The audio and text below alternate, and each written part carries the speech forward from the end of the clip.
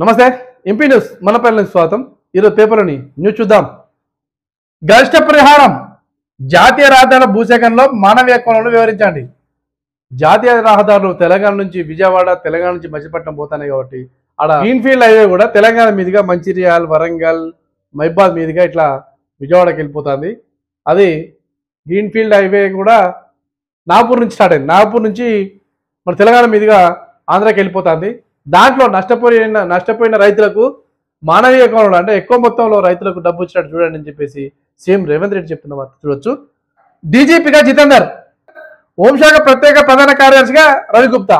నిన్న కొత్తగా డీజీపీగా తెలంగాణ డీజీపీగా తెలంగాణ డీజీపీగా జితేందర్ అయినందుకు శుభాకాంక్షలు తెలియజేస్తున్న సీఎం రేవంత్ రెడ్డి వార్త మనం చూడవచ్చు సెక్షన్ నూట ఇరవై కింద ముస్లిం మహిళలు భరణం కరువులే సిఆర్పిలోనే ఆ సెక్షన్ మతాలకు అతీతమైంది. భరణం దయతో భరణం అనేది దయతో ఇచ్చేది కాదు. అది వివాహితల అది వివాహిత మహిళా హక్కు. చిన్నారు చనిపోతే నిర్లక్ష్యమా? హైదరాబాద్లో చాలా వరకు కుక్కల దాడిలో ఆ, చిన్నారులు చనిపోతారు. దాన్ని నిర్లక్ష్యం చేయొద్దు. ప్రజాప్రాయులు కుక్కల నిర్వహణ కుక్కల నివారణ కోసం చర్యలు తీసుకోవాలి. చిన్నపిల్లలు లేకపోతే పట్టించుకోరని చెప్పేసి హైకోర్టు ముట్టికాయలు వేసిన వార్త మనం చూడవచ్చు ఆదాయ పన్ను చెల్లిస్తే మాఫీ ఉండదు.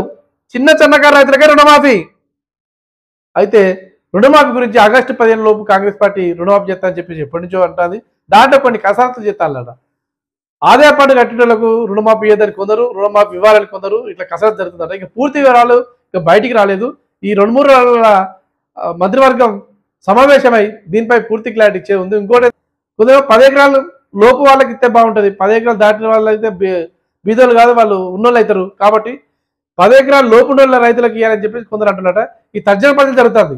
రుణమాఫీ గురించి రైతు భరోసా గురించి తర్జన పద్ధతి జరుగుతుంది. రుణమాఫీ రెండు లక్షల రుణం కరెక్టే కానీ ఉద్యోగులకును రేషన్ కార్డు లేని వాళ్ళకు రిటర్న్ ఆదాయం రిటర్న్ చేసిన వాళ్ళకు ఇవ్వద్దని కొందరు అంటారు ఇవ్వాలని కొందరు అంటారు. అది ఇంకా పూర్తిగా తెలియలేదు. ఇంకోటి ఏంటంటే పది ఎకరాల లోపు రైతు భరోసా అని కొందరు అంటారు కొందరు ఇవ్వద్దంటారు ఈ రెండు మూడు వల్ల ఈ కేబినెట్ సమావేశమై దీనిపై పూర్తి క్లారిటీ ఇస్తారట.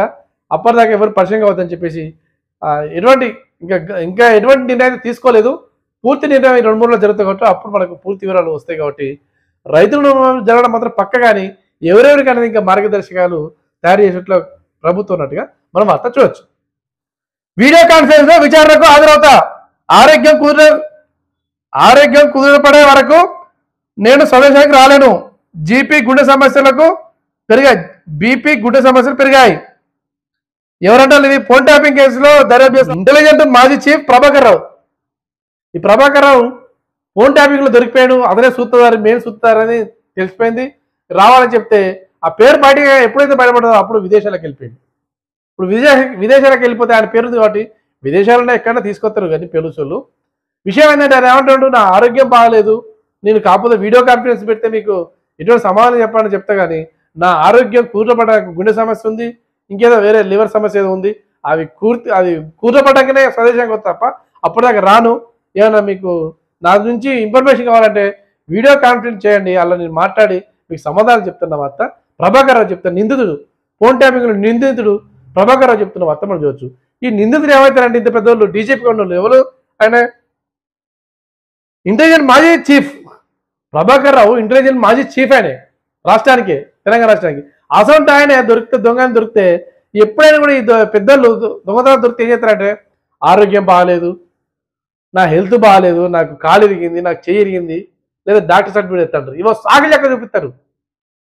ఇప్పుడు అదే విధంగా ఈయన ఏం సాగు చెప్తాడు నీ విదేశాలలో నా ఆరోగ్యం బాగాలేదు కాబట్టి ఆరోగ్యం కూడబెట్టక వస్తా కానీ ఇప్పుడైతే ఈలోగా మీకు ఆయన ఇన్ఫర్మేషన్ కావాలంటే వీడియో కాన్ఫరెన్స్ మొత్తం చేస్తే నేను రెస్పాండ్ అవుతానని చెప్తున్న వార్త.